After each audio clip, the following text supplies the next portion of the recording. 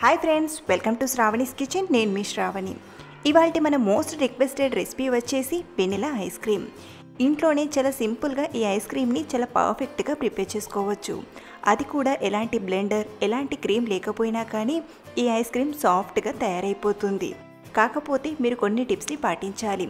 ఆ టిప్స్ ఏంటో కూడా నేను రెసిపీ చేస్తూ అన్నీ చెప్తాను. వీడియోని పూర్తిగా చూడండి. మరి ఎంతో టేస్టీగా సాఫ్ట్గా ఈ creamy creamy vanilla ice cream చేసే ఆ ప్రాసెస్ ఏంటో ఇప్పుడు చూసేద్దాం. ముందుగా ఈ ఐస్ క్రీమ్ చేయడానికి ఫుల్ క్రీమ్ పాల ప్యాకెట్ని తీసుకోండి. మీరు కావాలంటే ఫ్రెష్ గేదె పాలనైనా యూస్ చేయొచ్చు. ఇక్కడ నేను అర లీటర్ పాలను ప్యాన్లోకి తీసుకుంటున్నాను. ఈ అర లీటర్ పాలతో ఒక ముగ్గురికి ఐస్ క్రీమ్ ప్రిపేర్ చేయొచ్చు.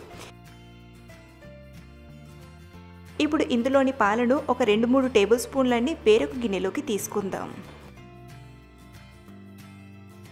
పాలను ఒక మూడు నాలుగు నిమిషాలు బాగా మరిగించండి. మరో పక్కన మనం తీసిపెట్టిన పాలల్లోకి ఒకటి రెండు టీ స్పూన్ల కార్న్ఫ్లోర్ని యాడ్ చేసుకుందాం. ఇక్కడ నేను ప్రజెంట్ ఒకటిన్నర టీ స్పూన్ కార్న్ఫ్లోర్ని యాడ్ చేస్తున్నాను. అలాగే ఫ్రెండ్స్ మీ దగ్గర కస్టర్డ్ పౌడర్ ఉంటే మీరు ఈ కార్న్ఫ్లోర్ ప్లేస్లో కస్టర్డ్ పౌడర్నైనా యూజ్ చేయొచ్చు. ప్రస్తుతం నేను కార్న్ఫ్లోర్ని తీసుకొని బాగా మిక్స్ చేస్తున్నాను. పిండి ముద్దలు లేకుండా ఇలా బాగా కలిపి రెడీగా పక్కన పెట్టుకోండి. మరో పక్కన పాలు మరగడానికి స్టార్ట్ అయ్యాయి. ఇలా పైన పేరుకుంటున్న మీగడను పాలల్లోకి మిక్స్ చేస్తూ బాగా మరిగించండి. ఇలా మనం క్రీమ్ పాలతో ఐస్ క్రీమ్ చేయడం వలన టేస్ట్ అనేది చాలా బాగుంటుంది. ఒకవేళ మీ దగ్గర పాలపై పేరుకునే మీగడ ఉంటే ఇందులో ఒక రెండు టేబుల్ స్పూన్ల వరకు పాల మీగడను కూడా యాడ్ చేసుకోవచ్చు. ఈ పాలు ఒక మూడు నిమిషాలు ఇలా బాగా మరిగాక ఇందులోకి షుగర్ని యాడ్ చేసుకుందాం. రెండు నుండి మూడు టేబుల్ స్పూన్ల వరకు షుగర్ని యాడ్ చేయండి.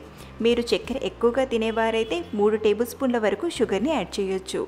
షుగర్ వేశాక చక్కెర కరిగిపోయేంత వరకు ఒక రెండు మూడు నిమిషాలు ఇలా కలుపుతూ మరిగించండి.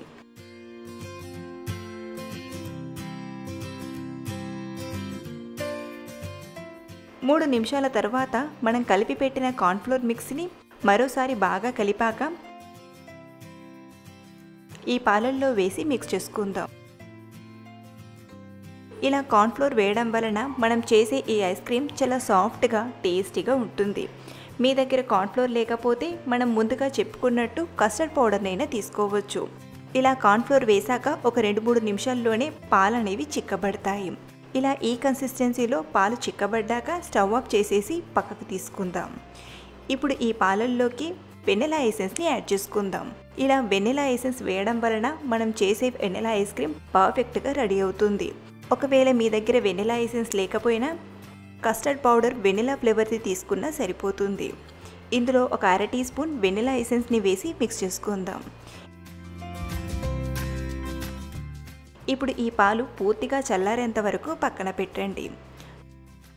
పాలు పూర్తిగా చల్లారాక చూడండి మీగడ ఎలా తయారైందో.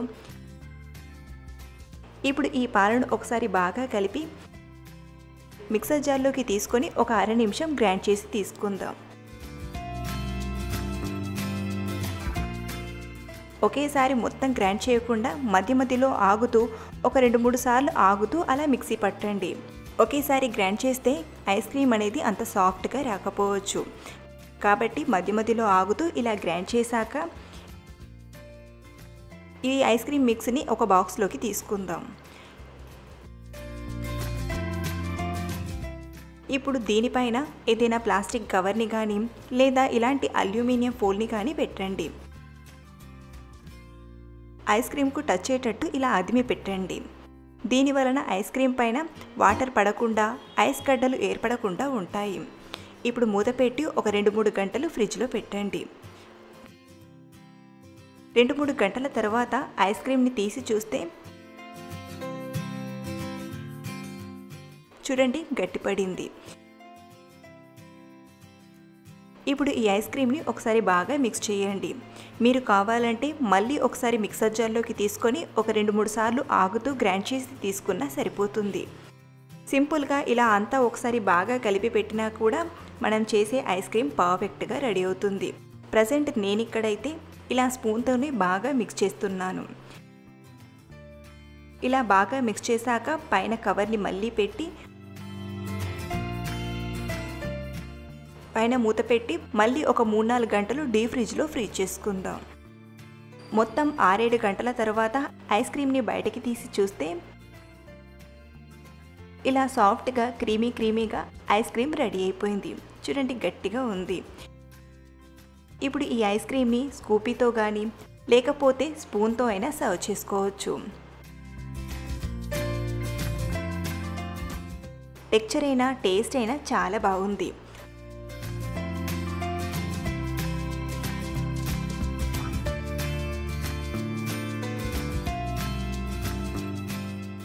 పైన గార్నిష్ కోసం డ్రై ఫ్రూట్స్ని కానీ లేదా ఇలా టూటీ ఫ్రూటీలను కానీ వేసి సర్వ్ చేయండి. ఇంట్లోనే చాలా ఈజీగా బ్లెండర్ అలాగే క్రీమ్ లేకపోయినా కూడా ఈ ఐస్ క్రీమ్ని ఇలా పర్ఫెక్ట్గా ప్రిపేర్ చేసుకోవచ్చు. సో ఫ్రెండ్స్ మీకు ఈ పాలతో చేసిన సింపుల్ ఐస్ క్రీమ్ రెసిపీ నచ్చితే ఒక లైక్ చేసి మీ ఫ్రెండ్స్కి షేర్ చేయండి. అలాగే ట్రై చేసి మీకు ఎలా కుదిరిందో మీ ఫీడ్బ్యాక్ని కూడా అందించగలరు. మరిన్ని టేస్టీ అండ్ సింపుల్ రెసిపీస్ కోసం మన శ్రావణి కిచెన్ ఛానల్ని సబ్స్క్రైబ్ చేసుకొని పక్కనే ఉన్న బెల్ ఐకాన్ని యాక్టివేట్ చేయండి. Thank you for watching.